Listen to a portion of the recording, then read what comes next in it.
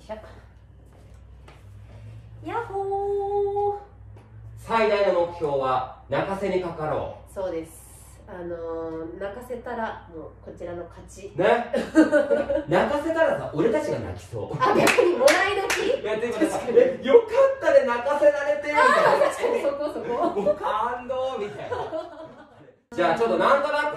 なんとなく。なんとなく言ってみまはーい。すじゃあまず俺から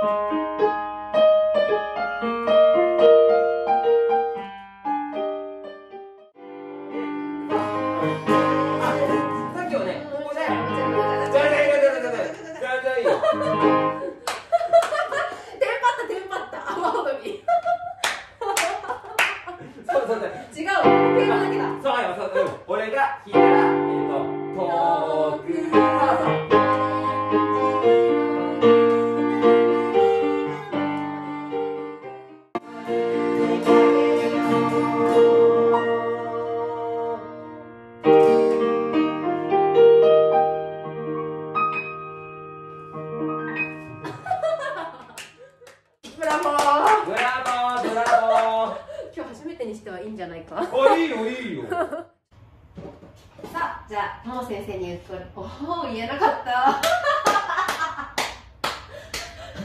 ゲネゲネやっておりません。ゲネやっておりません。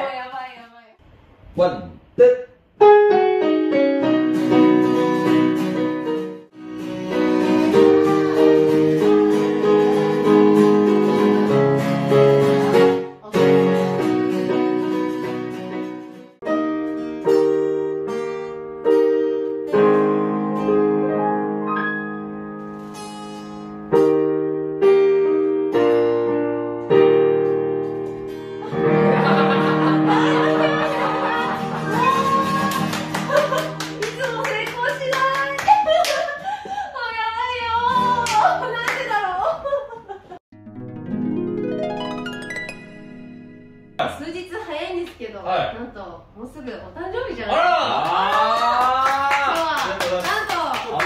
うございます。